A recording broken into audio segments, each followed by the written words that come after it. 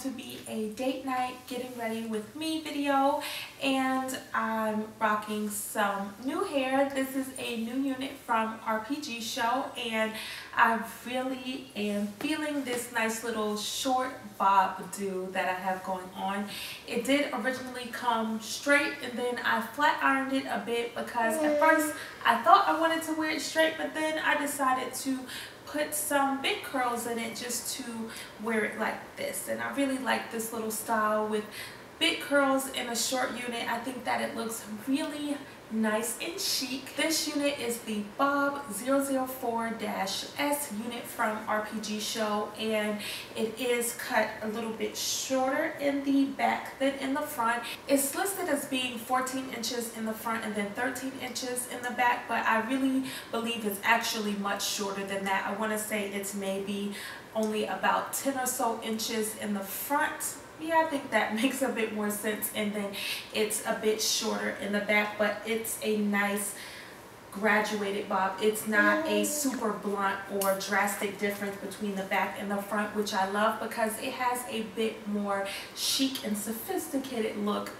that way.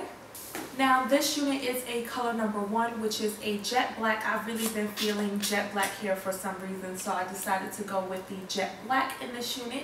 And all of these specifications will be listed down below, as well as a coupon code for you to save some cash on rpgshow.com. And if you're interested in seeing how I achieve this look, this makeup, these nice simple loose curls and also if you want to see my date night outfit then definitely stay tuned for the rest of the video. Bye Fabs!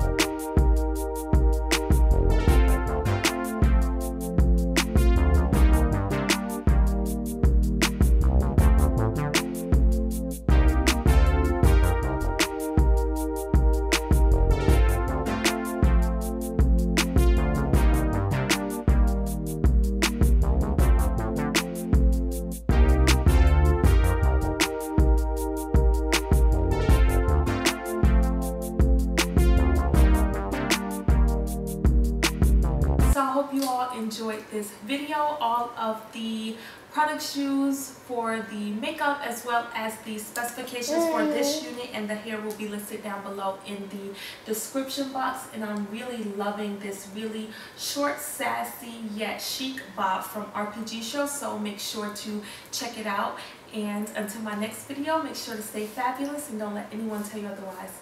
Bye guys!